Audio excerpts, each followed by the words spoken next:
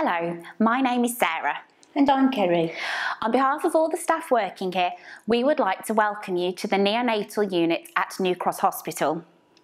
We both work on the neonatal unit and you will see us whilst your baby is a patient here.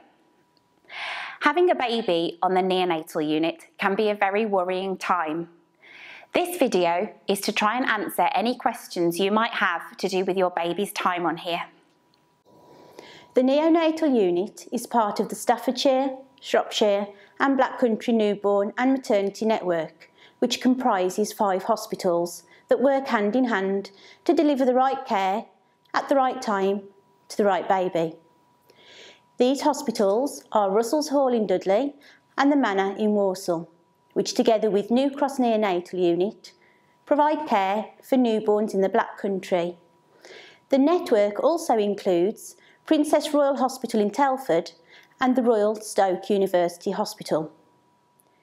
As a result, while your baby may have been born at New Cross Hospital, care is provided as a network.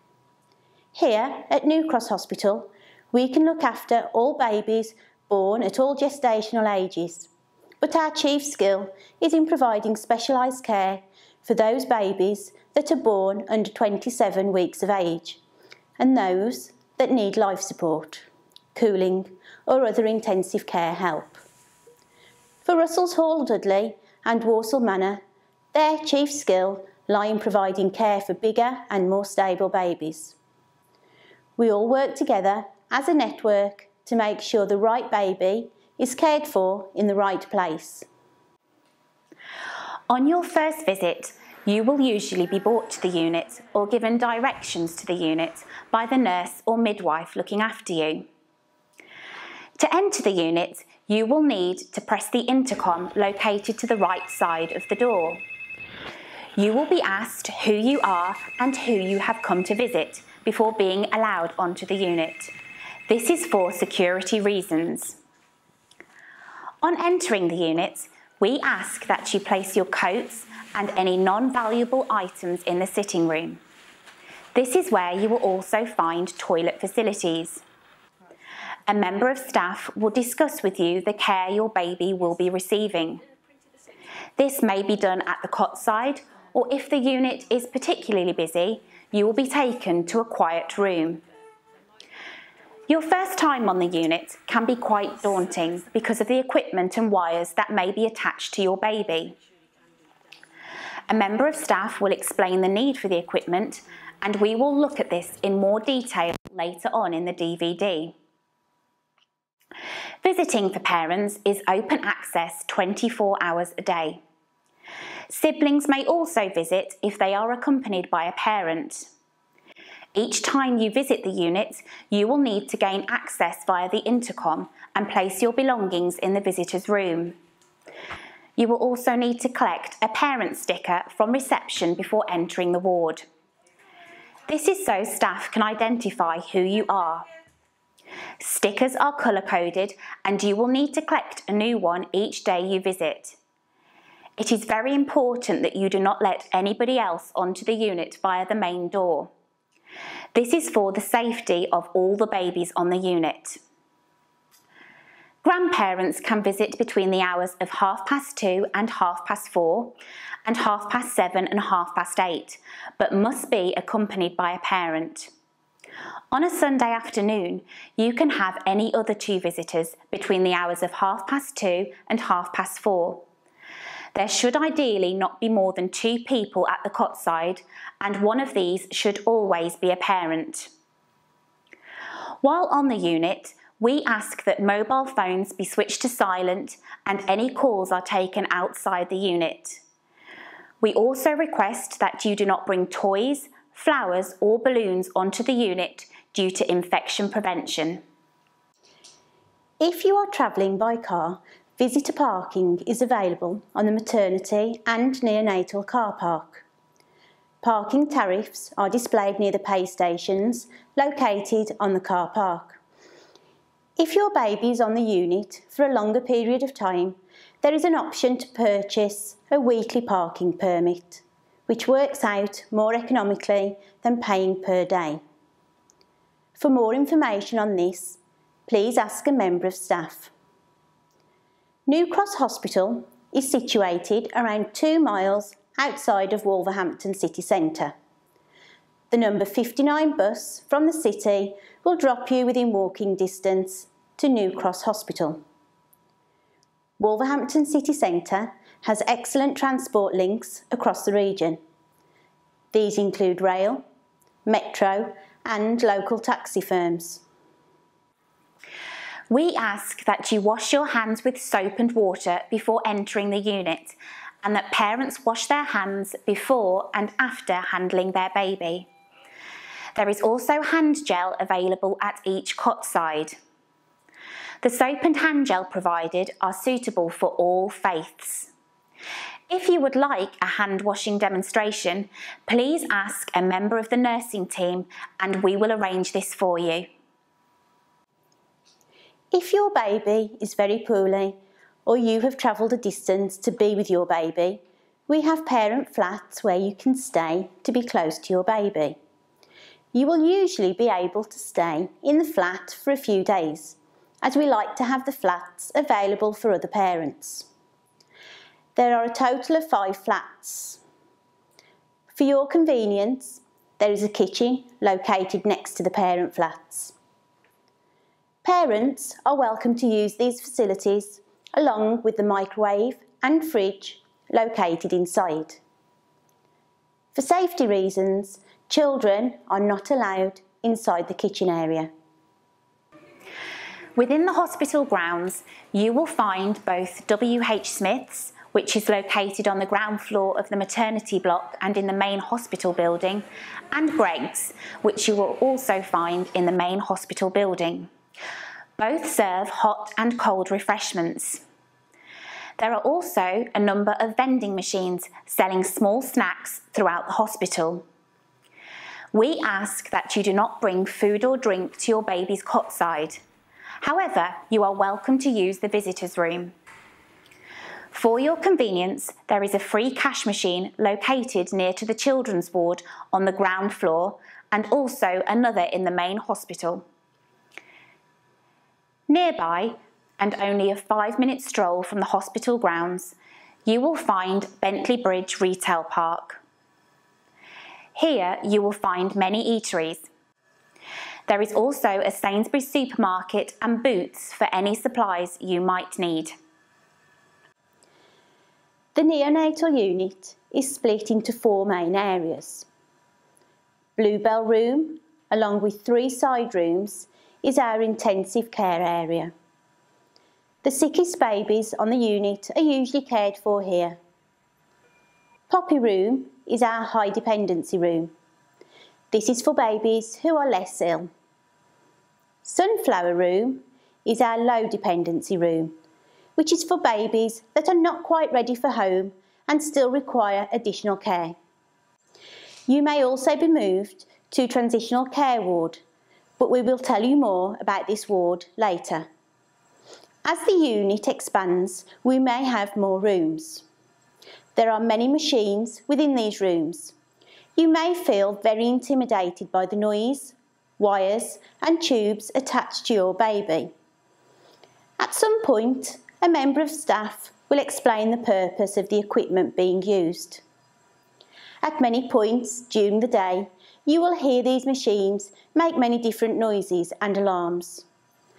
They may also display many different numbers. Although this might be frightening for you, please be re reassured that nurses are trained to understand and respond to equipment as needed. Each weekday, there are three ward rounds at 9 o'clock, 5 o'clock, and half past 9. On a Saturday and Sunday, the ward rounds take place at 9 o'clock in the morning and 9 o'clock at the evening. Ward rounds are conducted by medical staff and the nurse looking after your baby to assess their treatment and progress. Nurse handover times are at 7 o'clock in the morning, 1 o'clock in the afternoon and 7 o'clock in the evening. At these times, parents are asked not to be present to maintain patient confidentiality. Parents can wait in the parents' sitting room next to the reception. This is when your baby's information is shared with the nurse caring for your baby. At times, you may see staff wearing red aprons. We ask that you do not disturb staff at this time as they are carrying out drugs rounds. Quiet time is 1 o'clock in the afternoon till 2 and 5 o'clock of the evening till 6. This is when the lights are dimmed, noise is kept to a minimum and no procedures take place allowing baby to rest. However, these times may vary according to the needs of the babies. You will see a wide range of staff working on the unit. At any one time, we have senior and junior sisters, staff nurses, screening nurse, healthcare assistants and student nurses. We also have the medical team, which consists of consultants, senior and junior doctors, and advanced nurse practitioners.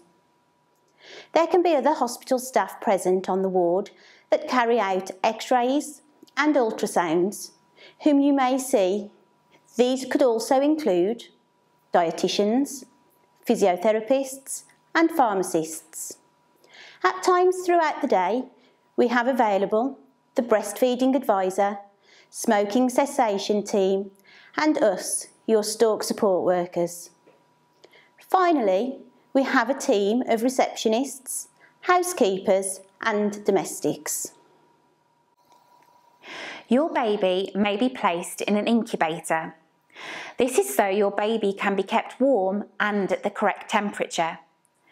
The incubator, as you can see, is a clear plastic box which is fitted with a special heater. It has holes in the side to enable both you and staff to touch your baby. Incubators are not just for premature babies, but also for term babies that require intensive care. You will also see that at times the incubator is covered. This is to keep the light and noise out so your baby can rest as you will notice the neonatal unit can be a bright and occasionally noisy place. Above the baby's incubator, you will see a large monitor.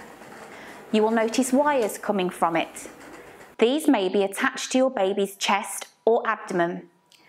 Additionally, you may see wires on your baby's foot or hand. This tells staff about your baby's heartbeat, oxygen levels, breathing, oxygen saturation and blood pressure. They are recorded on the monitor screen and you will notice many lines and numbers. This gives the neonatal team a digital reading of your baby's condition. The monitor will alarm when baby's vital signs are, are out of range. If this happens, the alarm will ring and the nurses will respond in an appropriate manner to check your baby. Not all alarms mean your baby is in trouble. Sometimes, if your baby has fluid or mucus in their mouth, they require a little suction. This is a tube that is placed in the baby's mouth and sucks away any secretions. The ventilator is a machine that helps baby with breathing by using a tube that goes from the mouth to their windpipe. Other words you may hear are CPAP, BiPAP, high flow oxygen or low flow oxygen. These are other techniques to help with your baby's breathing. With these supports, your baby breathes for themselves. However, you will notice two small prongs in their nose or a small mask over their nose that delivers a small amount of support through the nose to the lungs of your baby to help with their breathing. Whilst your baby is on the neonatal unit, they may be too sick to tolerate milk feeds. It may be necessary to give your baby nutrition via intravenous fluids. Your baby may require medication and this may need to be given via intravenous infusion or injection. This is given in a special pump which you will see at the cot side. We use pumps to ensure we give the right amount of fluid and medication intravenously. The pump is attached to a cannula that goes directly into your baby. Your baby may have an umbilical catheter. This is a special catheter inserted into the vein or artery of the belly button. This is so medical or nursing staff can give medicines or monitor blood by withdrawing samples from your baby. Whilst on the neonatal unit, your, your baby may become jaundiced and require treatment called phototherapy. Phototherapy is a special blue light that is placed either over or under the baby. This light is shone onto your baby's skin. It is the light that enables your baby's body to convert the bilirubin that is causing the jaundice to be passed out in baby's urine and stools. Whilst under the light, you may notice that your baby's stools are loose and that baby may appear quieter. This is normal. You will be offered a pair of protective glasses to wear when your baby is receiving phototherapy. If there are none by the bedside, please ask a member of our team. Whilst on the unit, your baby may need medical tests and scans. This is so staff can appropriately treat your baby and ensure that the treatment is working. Results will be explained to you by the staff on the unit. Some sick and very small babies have a scan of the brain whilst on the unit. The results of this will be shared with you as soon as possible. All babies will have a sample of blood taken from the heel at five days old. You may hear this referred to as the blood spot. Babies born under 32 weeks gestation will have a repeat test at 28 days. This tests for a number of rare but serious conditions. A hearing screen will also be offered to any baby that has been on the unit more than 48 hours. There are two different screenings that take place. The results will be given straight away to you. Babies under 32 weeks gestation or 1.5 kilograms will be screened for the retinopathy of prematurity this looks at the retina and eye development. Some babies will be offered a hip ultrasound to exclude problems of the hip. There is a standard set of criteria used by the unit to determine which babies need screening. Babies that are on the unit 60 days after their birth date will begin their course of regular childhood immunisations. Your consent will be needed for this Every baby on the neonatal unit gets a pre-discharge newborn examination that you may hear referred to as a NIPE. This is carried out to pick up any potential problems and is repeated when your baby is 8 weeks old by your GP or health visitor. We place great importance on the expression of milk and breastfeeding.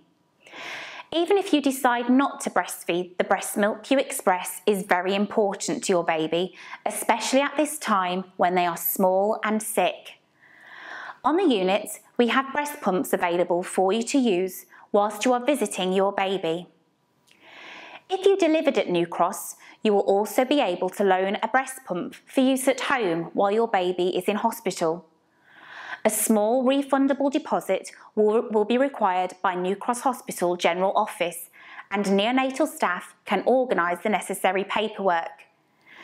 You will be advised how to express and store your milk and will be supported with breastfeeding by our team.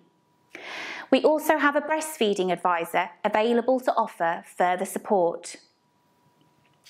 If you decide to breastfeed, it is important that you eat and drink regularly. Therefore, a hot meal is provided for any breastfeeding moms that spend the day on the unit. If you prefer to express your milk in private, we have a breastfeeding room available in Sunflower Room. We also have screens for privacy in Poppy and Bluebell rooms. Where possible, we encourage moms to express their milk at the cot side, as being close to your baby will help the process. Whilst your baby is a patient on the unit, we ask that you provide a number of items your baby will need. These items may vary depending on the size of your baby and the room on the neonatal unit that your baby is being treated in. These items may include nappies and nappy sacks, cotton wool, bottles and bottle brushes if preferred feeding choice. Your nurse will advise you on what to bring in. This may be different in each of the areas that your baby is cared for in. If you decide to bring in clothes for your baby, please ensure that these are clearly labelled to avoid confusion. Parents are encouraged to use breast milk. However, if you do decide to use formula, please note that we only provide certain brands and to check with a member of the team as you may need to supply your own. However small or sick your baby is, you, the parents, are the most important people in your baby's life. Staff will involve you in the care of your baby as soon as you are ready. You may feel ap apprehensive at first, but staff will help give you the confidence to do this. It is important for you to have contact with your baby involving touch, voice and smell. As soon as your baby's condition allows, you will be able to have a cuddle and some skin-to-skin contact. You may hear this referred to as kangaroo care. The neonatal unit is working hard towards integrating families into the supportive care provided for baby, especially as they get better and closer towards going home. On the neonatal unit, we understand it can be a very stressful time for families. We feel it is incredibly important to feel supported throughout your journey. We encourage you to attend our Stork Coffee, Cake and Chat group, which is held fortnightly in the visitors room. Here you can speak to both the Stork trainers and also support each other. Before leaving the unit, you will be asked to attend the Stork programme. This programme provides you with the skills, information and confidence to help keep your baby safe at home. We will be discussing safe sleep, recognising the poorly baby, basic life support, weaning and breastfeeding. On the unit, we have the Starlight Room. This is available for parents providing a peaceful place for quiet thought, private conversation, reflection and prayer. We offer religious and spiritual support for all beliefs. If you wish to speak to a person of your faith, please ask a member of staff and we will arrange it for you. In the main building of the hospital, there is a multi-faith prayer room available for use. We also have a family liaison counsellor who is available to speak to parents who wish to take up this service. Transitional care is a ward located on D9 where babies who need a little more nursing and monitoring are cared for. The main carer is mum and she is able to stay with baby on the ward. Nurses will provide a nursing care and parents are encouraged to meet the other needs of a newborn baby. As with the neonatal unit, parents will be supported with feeding and care of their baby. It is the parent's responsibility to provide nappies, clothes and formula milk if this is the desired method of feeding.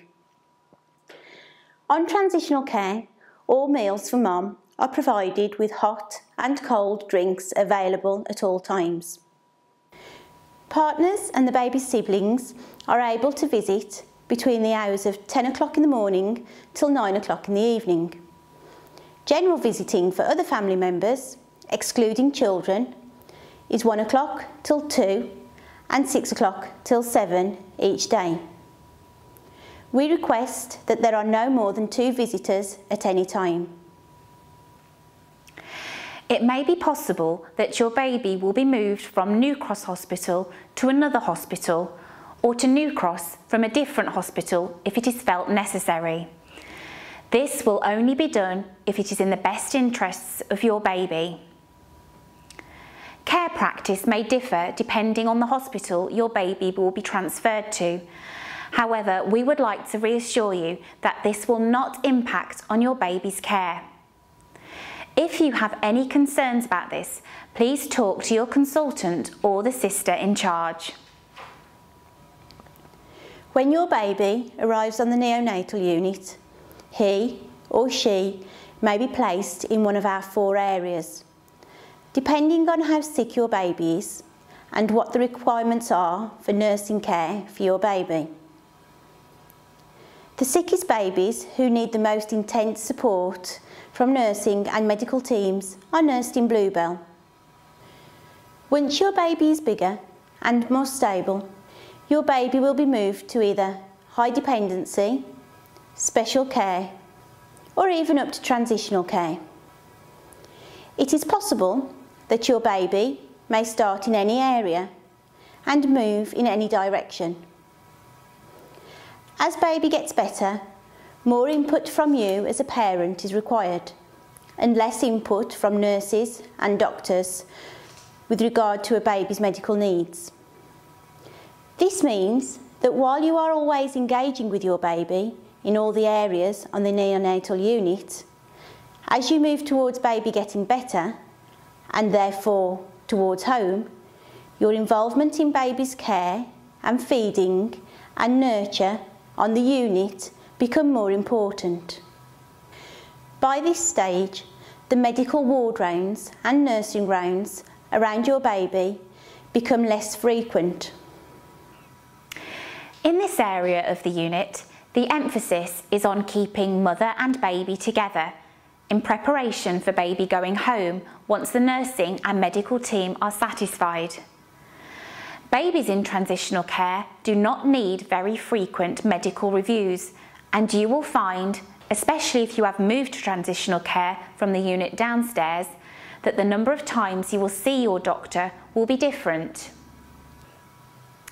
In this time in hospital, the focus is on you bonding with your baby, establishing feeding and preparing for home, while waiting for minor medical or feeding issues in your baby that need to be resolved. When your baby is getting ready to go home, the community team will come and visit you on the unit. They will support you in caring for your baby once you are discharged. You will be given the opportunity to stay in the flat with your baby prior to discharge, should it be available. On the day of discharge, it may take several hours to get the relevant paperwork in order before you can leave the unit. For this reason, we ask that you are patient whilst we carry out this task. You will be given a red book, which will be a record of your baby's development. This will be completed each time your baby is seen by a health professional throughout their childhood. If for any reason you need to discuss issues about your baby's care that cannot be addressed on the units, we have the Patient Advice and Liaison Service, otherwise known as PALS. They can be found at Zone Z in the hospital main building. PALS act on behalf of their service users when handling patient and family concerns. They liaise with staff, managers and where appropriate, other relevant organisations to negotiate speedy solutions and to help bring about changes to the way those services are delivered. PALS will also signpost patients and families to local or national based support agencies as appropriate.